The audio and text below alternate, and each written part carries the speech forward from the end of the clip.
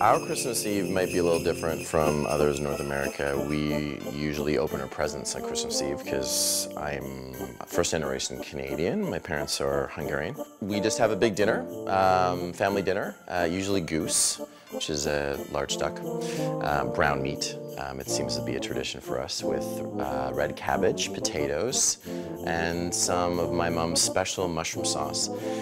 So then after we eat that, uh, a little bit of uh, desserts. Um, black magic chocolate's a big thing for our family.